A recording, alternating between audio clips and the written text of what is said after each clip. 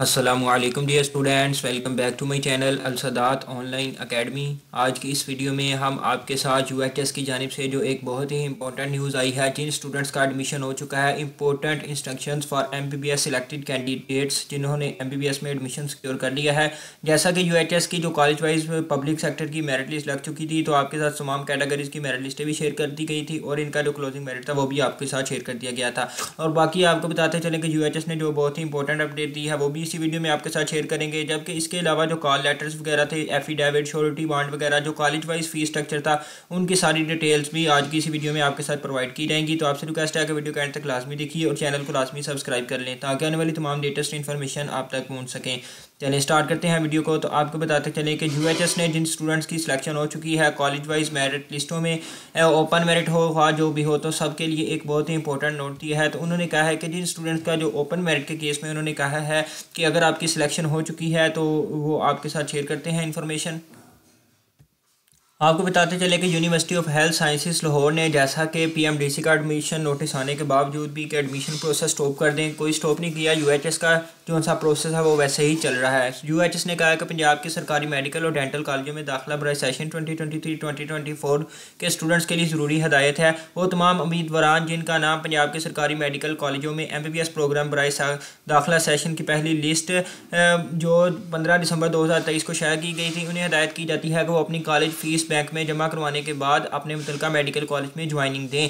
مطلب کہ جیسا کہ انہوں نے کہا تھا کہ آپ نے اپنا جوائننگ لیٹر دینا ہے جو یو ایچ ایس کی فی ہے وہ بھی سبمٹ کروانی ہے۔ تو فی جمع کروانے اور کالج میں جوائننگ دینے کی آخری تاریخ بیس دسمبر دو ہزار تیئیس ہے۔ کچھ اسٹوڈنٹس کو جیسا کہ آپ کے ساتھ شیئر کیا گیا کہ جو ہے، پی ایم ڈی سی نے ایڈمیشن پروسیس سٹاپ کر دیا ہے تو ان کا کہنا تھا کہ کیا یو ایچ ایس کا جو صاحب شیڈول بھی چینج ہو جائے گا۔ تو آپ کو بتاتے چلیں کہ ایسا کچھ بھی نہیں ہوا۔ یو ایچ ایس کی ڈیٹ وہی ہے بیس دسمبر دو ہزار تیئیس۔ جبکہ آپ کو بتاتے چلے کہ جو پرائیویٹ سیکٹر کی لسٹ ہے پرویژنل میرٹ لسٹ وہ بھی آج یو ایچ ایس نے ٹائملی اپلوڈ کر دی ہے جس سے یو ایچ ایس کو کوئی بھی فرق نہیں پڑا پی ایم ڈی سی کے نوٹس سے تو آپ نے یہ ٹینشن نہیں لینی کہ پی ایم ڈی سی کا نوٹس آیا ہے تو آپ کو بتاتے چلیں کہ سلیکٹ ہونے والے امیدوار کر بیٹھ کر دوسری سلیکشن لسٹ میں اپ گریڈ ہونے کا انتظار نہ کریں فیس جمع نہ کروانے اور کالج میں جوائننگ نہ دینے کی صورت میں ان کا داخلہ منسوخ کر دیا جائے گا دوسرا یہ کہ ان کے بعد لگنے والی سلیکشن لسٹوں میں ان کا نام شامل نہیں کیا جائے گا تو آپ کو بتاتے چلیں کہ یہ ایک بہت ہی امپورٹنٹ نیوز ہے سلیکٹڈ اسٹوڈنٹس کے کے لیے کہ وہ جا کر جلد از جلد اپنی جوائننگ دیں۔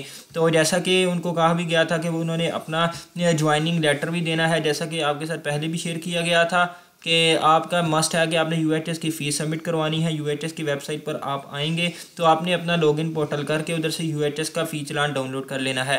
تو جو یو ایچ ایس کا ایک فی چلان مسٹ ہے۔ جیسا کہ جوائننگ رپورٹ میں آپ دیکھ سکتے ہیں کہ آپ نے اس کا پرنٹ آؤٹ لے کر اس کو فل اپ کرنا ہے۔ تو اس میں ایک تو ہے کہ یو ایچ ایس کا جو ان سے ہے اپنے فارم فل اپ کرنا ہے، وہ بھی اسٹوڈنٹس کو ایشو آ رہے تھے کہ جبکہ یو ایچ ایس کا کل کی جانب سے کل سے یو چلان ایشو کر دیے گئے ہیں یو ایچ ایس کی جانب سے۔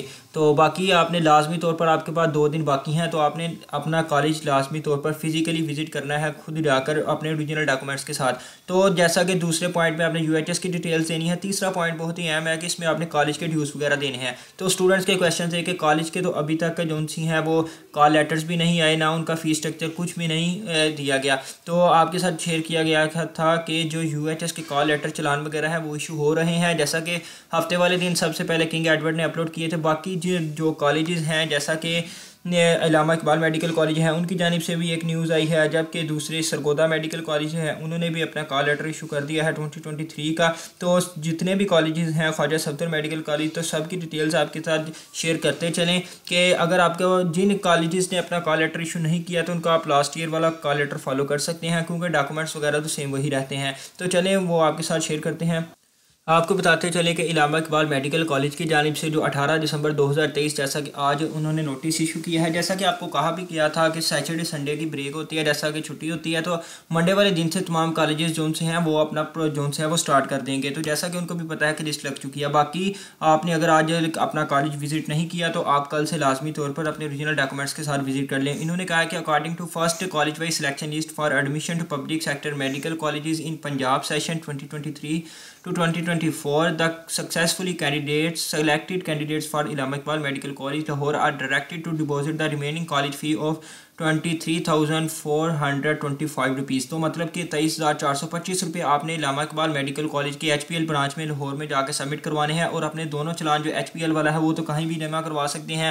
علامہ اقبال کا چلان آپ نے وہاں سے لے کر وہاں ہی سبمٹ کروا دینا ہے۔ جبکہ آپ کو کہا بھی گیا تھا کہ آپ لازمی طور پر منڈے سے اپنا کالج وزٹ کر لیں، کیونکہ کچھ کالجز نے اپنا جو سا ہے وہ آن لائن پورٹل پہ اپڈیٹ نہیں کیا۔ تو باقی انہوں نے کہا کہ جوائننگ لیٹر جو سا ہے، جو یو ایچ ایس کی ویب سائٹ سے آپ نے لینا ہے، اس کو بھی ویسا ہی فل اپ کرنا ہے۔ تو آپ نے جوائننگ دے دینی ہے بیس دسمبر سے پہلے پہلے۔ تو آپ کو جیسا کہ کہا بھی گیا تھا کہ آپ نے جوائننگ لیٹر میں تین چیزیں اہم ہیں، ایک یو ایچ ایس کا چلان ہوتا ہے، جبکہ دوسری جانب جو مین امپورٹنٹ ہوتی ہے کہ یو ایچ ایس کا چلان کالج کا جو سا ہوتا ہے، وہ فی اسٹرکچر وغیرہ جو ڈیوز وغیرہ ہوتے ہیں، اور تیسرے کالم پہ آپ نے تو اپنی ڈیٹیلز فل اپ کرنی ہوتی ہیں۔ تو اس کے بعد آپ جوائننگ دے سکتے ہیں۔ تو یہ تو آپ نے لازمی مسٹ کر لینا ہے کہ آپ نے لازمی طور پر جوائننگ دے دینی ہے جا کر علامہ اقبال میڈیکل کالج میں۔ جیسا کہ ان کا نوٹس بھی آ گیا ہے، تو آپ نے وہاں فزیکلی وزٹ کرنا ہے۔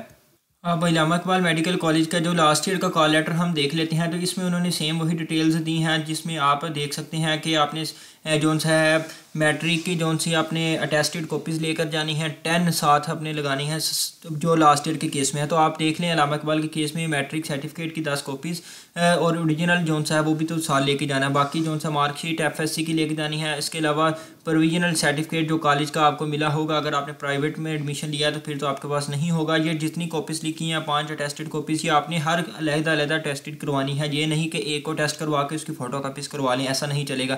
Board migration N O C اگر آپ نے کسی اور بورڈ سے لیا ہے تو این او سی آپ کو اپنے ریلیونٹ بورڈ سے مل جائے گا، وہ بھی آپ نے سبمٹ کروانا ہے۔ اور دوسری بات کہ اگر آپ کے ڈاکومنٹس وغیرہ پورے نہیں ہوتے ٹائملی تو آپ نے جو سا مین کام کرنا ہے یو ایچ ایس کی فی جوائننگ لیٹر اور اپنے کالج کے ڈیوز وغیرہ سبمٹ کروا دینے ہیں۔ جو جو ڈاکومنٹس ہیں مینلی آپ کے پاس اویلیبل ہیں، وہ بھی آپ سبمٹ کروا دیں۔ باقی جو سا ہے وہ کالج آپ کے ساتھ ہے، وہ ڈسکس کر لیں گے۔ کالج والے آپ کے ساتھ کمپنسیٹ اتنا تو کر ہی لیتے ہیں کہ آپ بعد میں سبمٹ کروا دیں۔ باقی مین جو سا ہے، فی الحال آپ نے یو ایچ ایس کا چلان کالج کا چلان اس کے علاوہ جوائننگ لیٹر لازمی دے دینا ہے۔ باقی انہوں نے یہ لکھا ہوا ہے کہ جو سی اٹین لسٹڈ پاسپورٹ سائز فوٹوگرافس لینی ہے۔ بلیو بیک گراؤنڈ کے ساتھ سی این آئی سی یہ کی کاپیز ایم ڈی کیٹ کا جو سا ہے رزلٹ کارڈ ہے، اس کے علاوہ یہ سرٹیفکیٹ جو ہے ویکسینیٹڈ یہ آپ نے ویکسینیشن جو سی کروائی ہے، یہ میڈیکل رپورٹ یہ بھی تیار ہو جاتی ہے، اس کا بھی کوئی اتنا ایشو نہیں ہوتا۔ اور اس کے علاوہ جو انہوں نے کہا ہے کہ اوورسیز کے کیس میں ہاسٹل ڈیوز وغیرہ یہ بھی انہوں نے بتائے ہیں۔ اس کے علاوہ شورٹی بانڈ ہے، جو سا ہے، وہ آپ نے آن ٹائپ کروانا ہوتا ہے۔ تو آپ کہیں بھی چلے جائیں، کسی بھی اسٹاف فروش کے پاس، وہ آپ کو ٹائپ کر دے گا، تو یہ اتنا مسئلہ نہیں ہوتا۔ شورٹی بانڈ کا اور جو سا ہے، وہ ایفیڈیوٹ کے تقریباً سیم ہی ہوتے ہیں۔ تو آپ نے اس کی اتنی ٹینشن نہیں لینی، جو فی الحال آپ نے اپنے جو ان سے ڈاکومنٹس وغیرہ کلیئر کرنے ہیں۔